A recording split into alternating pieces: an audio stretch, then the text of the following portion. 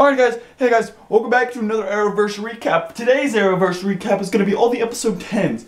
If you don't know what I do in this series, you're fucking dumb. Because this is all the episode 10s, and if you don't know what I do in this series, then you're stupid. Probably shouldn't too much in my head now. But anyway, to start us off, we're going to be talking about Supergirl. The title of this episode is called Legion of Superheroes. The reason this is called Legion of Heroes so in the last episode, Supergirl got knocked out by trying to fight Reign. And so um, Supergirl is in a coma and then uh, Mon-El wakes up this guy called Brainiac 5, but the Legion calls them him Brainy. And um, he's he's there to help Kara wake up from this coma, but the cool thing about Brainiac 5 is that he can be in the mind world and in the real world at the same time. So it gives us two stories, one with Supergirl and Brainiac 5, and then another one with Reign, Alex, John, and the Legion of Heroes. Um,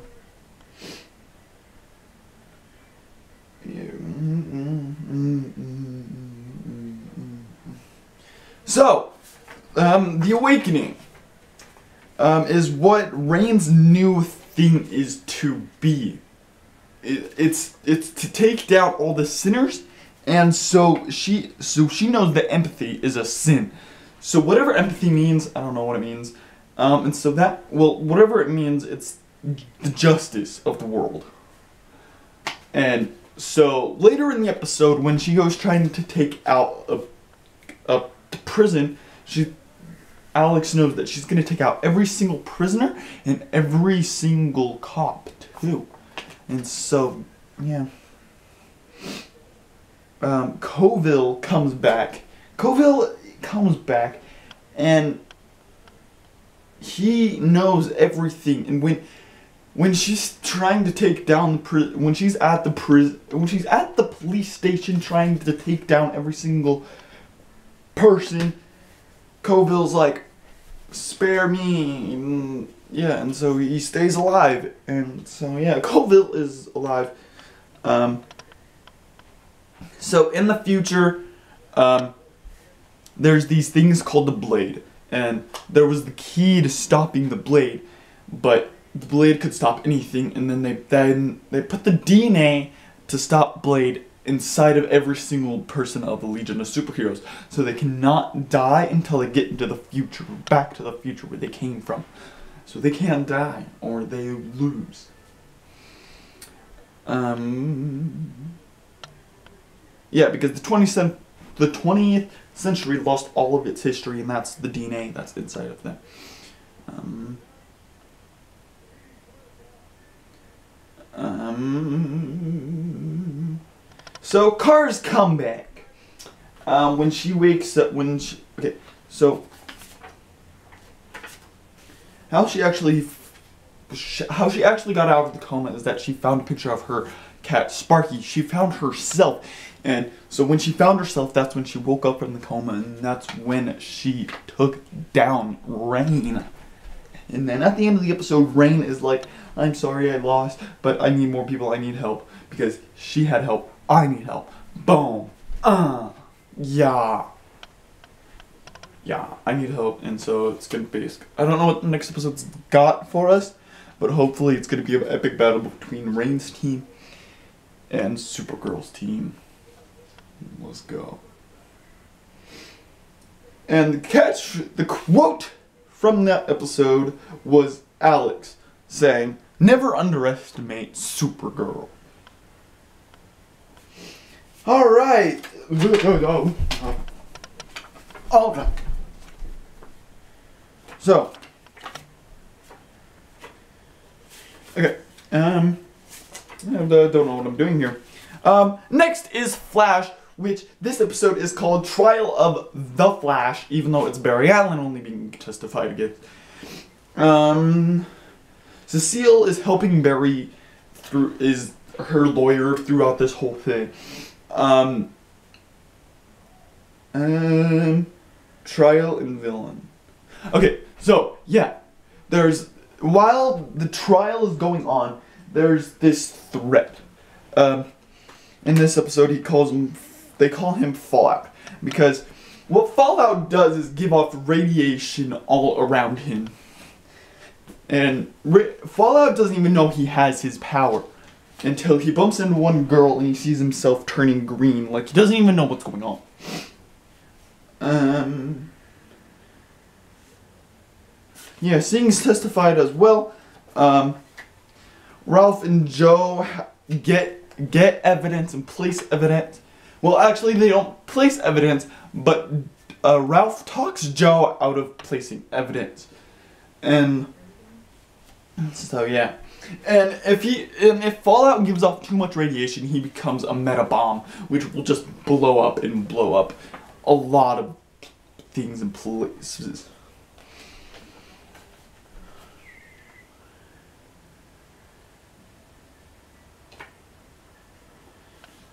So, if you guys remember from episode one, if you guys have ever even seen episode one, they've brought a lot of references from first two episodes in this episode. Um, so Barry's getting testified against, and he's like, "Your Honor, I didn't do anything. I did not kill anyone." And that's an episode one line. Um,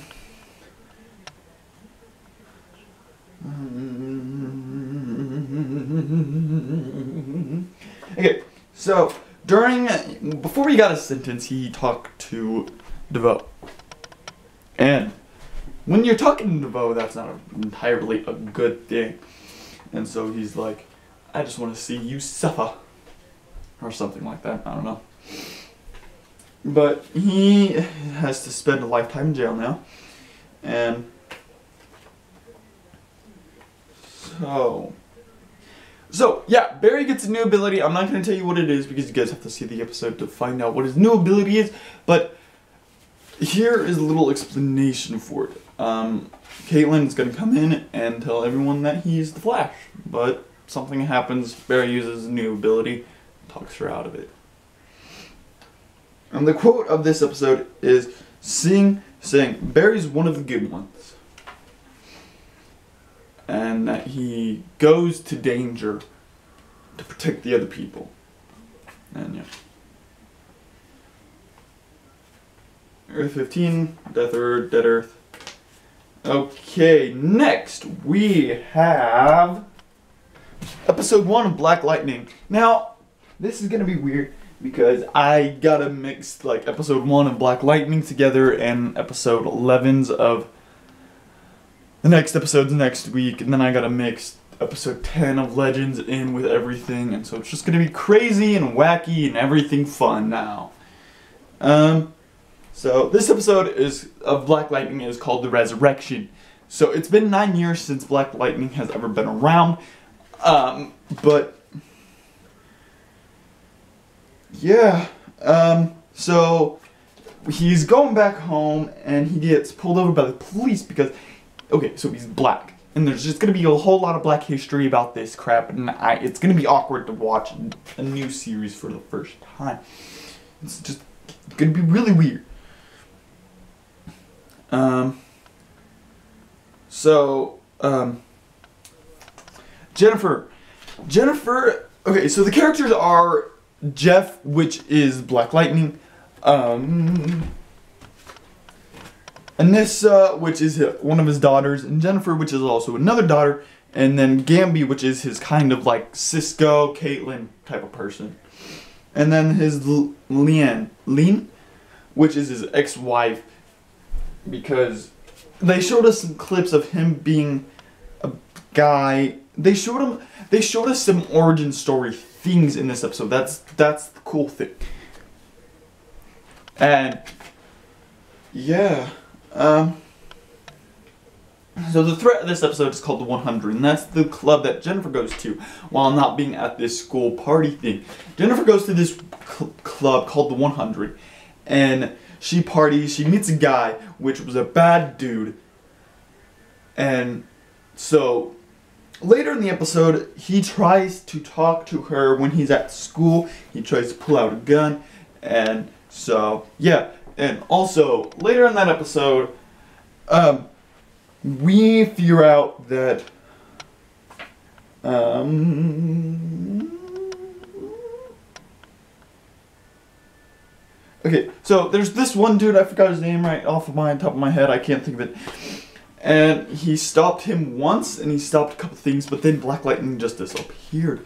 And so now Black now that Black Lightning's back, dude. It, okay, to be honest, I kind of am excited for this series because it's a new hero and it's a new hero that I've already grown to love. And I've only seen one episode, man. Um, okay, so the 100 gang equals Lala and Will, which Lala is Levant, Levant which is a very bad dude, is, is a very bad father to his son.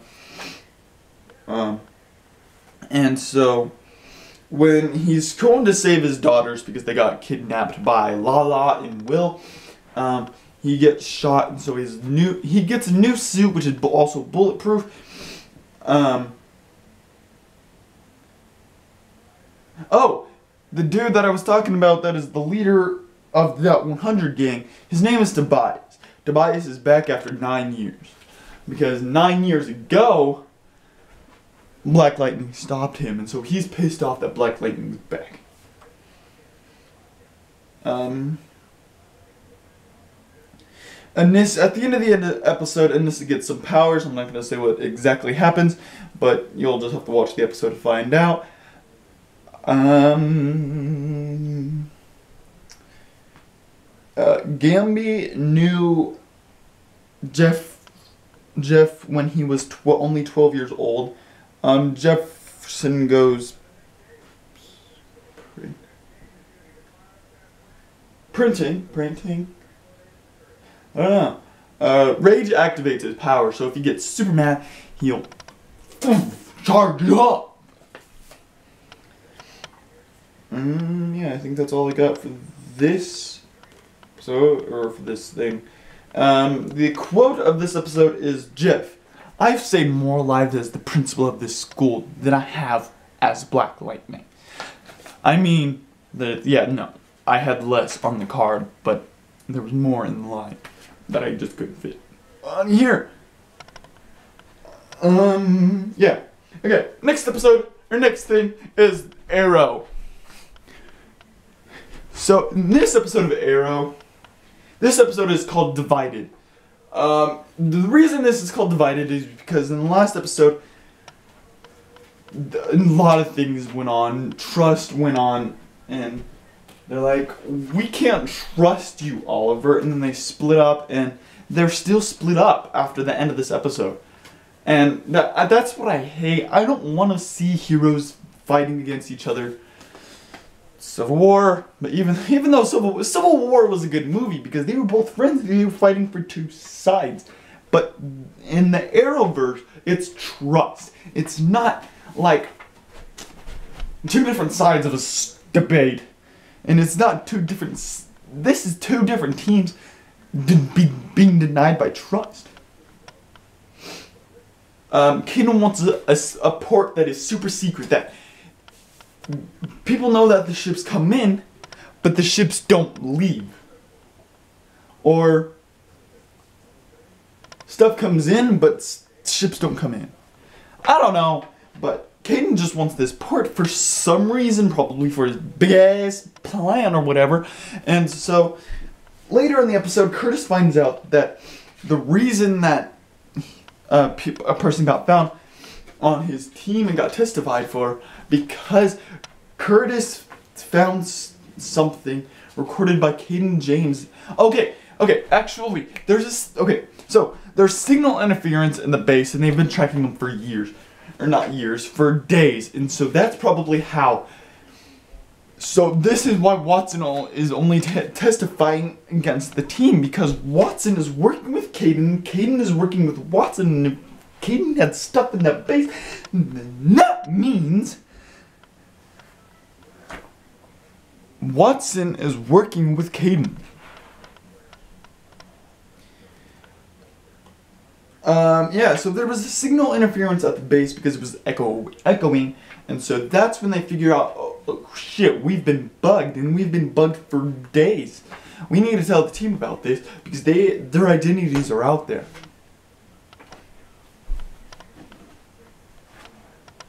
Um, I got a lot of notifications. Okay. Um. So, um.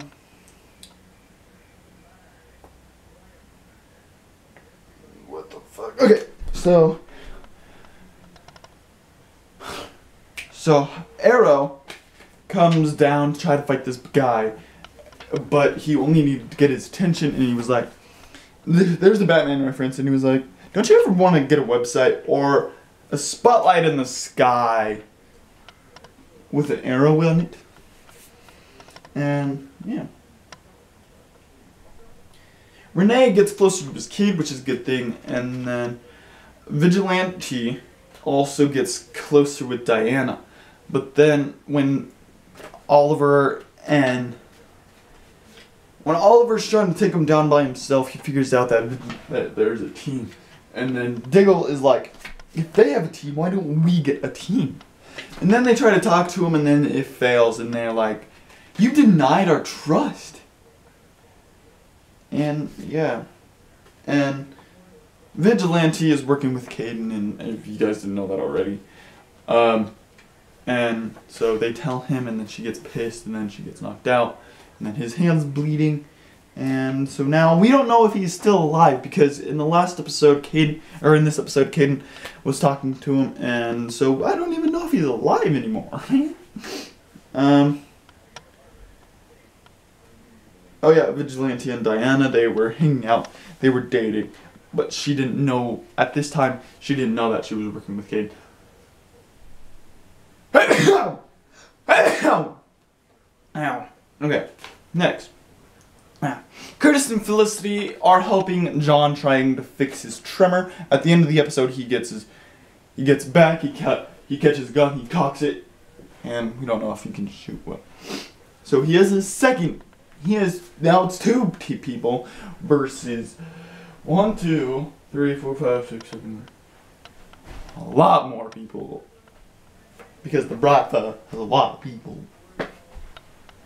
I'm not saying Bratva was over there. But so, since they had a signal infer- interference at their first base, they go to the second base, which also has a signal interference, and that's how he gets taken down the first second time. And so, here's a cool thing. Um, bad guy. Okay, so back it up.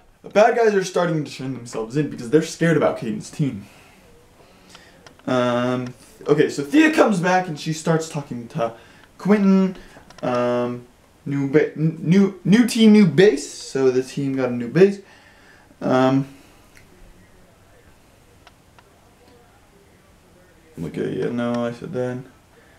They try to surprise attack Caden, but it fails miserably. But Arrow gets out, and so does everyone else.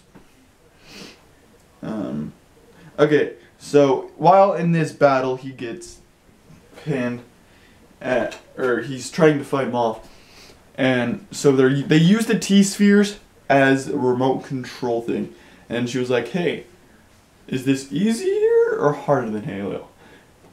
And he was like, "Oh, way easier." Um.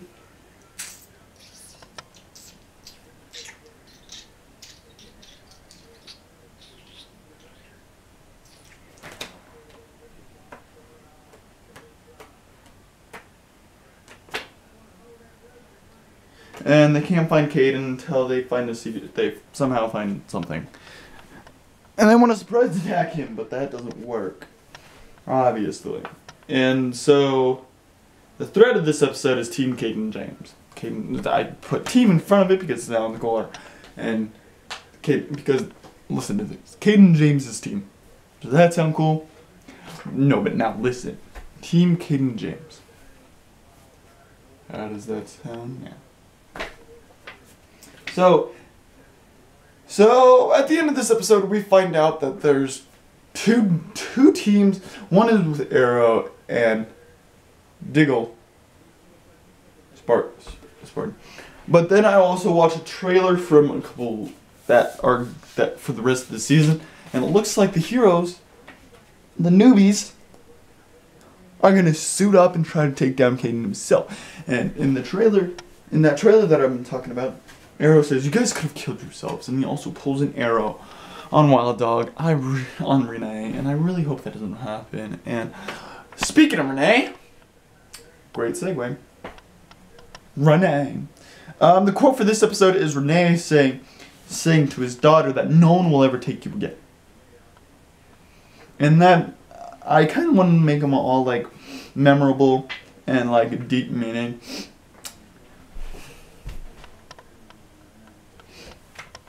Like, never underestimate Supergirl. Like that's tough.